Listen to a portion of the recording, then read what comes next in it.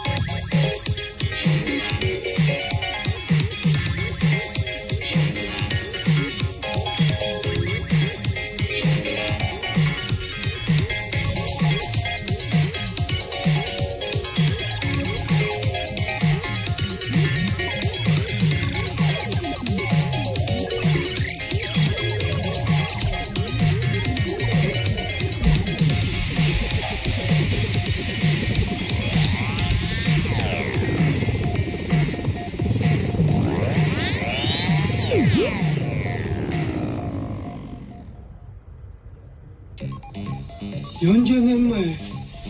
新しいビデオゲームができたんでデザインをお願いしますということで企画者の岩谷さんのとこに店にもらいに行ってきたんですよね。画面を見ると皆さんご存知だと思うんですけど黄色い円筒が上下左右動き回ってて、えー、逃げたりやっつけたりと奥の深いゲームでしたね。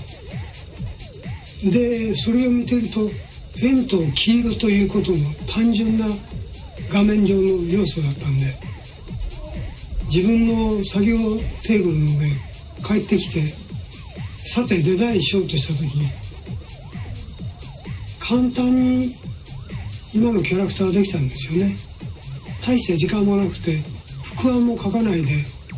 提出しそのまま承認をもらいます。パックマンはあまり円円に手足がついたんで特徴がない感じもするんで目はちょっと特徴つけようかなと思ってあのー、昔風の目にしていましたそうするとちょっとでも大きく見えるかなと思ってやってみたんですね。で私なりちょっと凝ったとこがありまして誰も気づいてくれないんで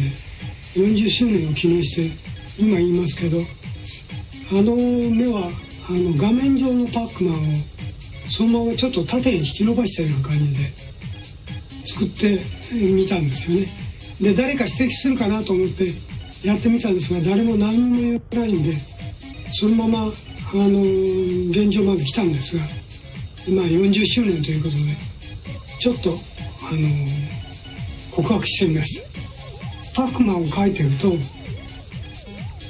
自分に元気をもらうような気がするんですよね。何の悩みもないパックマンを書いてると自分で自分が書いてるのに元気になる。皆さんもそういうふうに元気を与えられるといいなとは思ってますもっと世界中に、えー、これが広まっていけば世界平和になるんじゃないかとなってほしいなと思っている今日この頃です。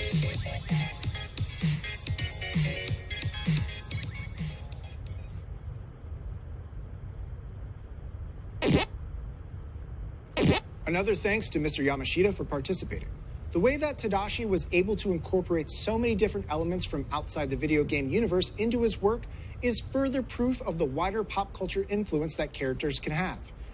These are things, when tied together, can create personal meaning and a greater appreciation for the breadth of people this art can represent and bring into the fold. It's the perfect analogy for the Comic Con Museum, celebrating every facet of what goes into the creation of pop culture history. The arts, crucial, fun, and a great way to make events like this more extravagant. Plus, they make me feel cultured. Uh huh. Since we just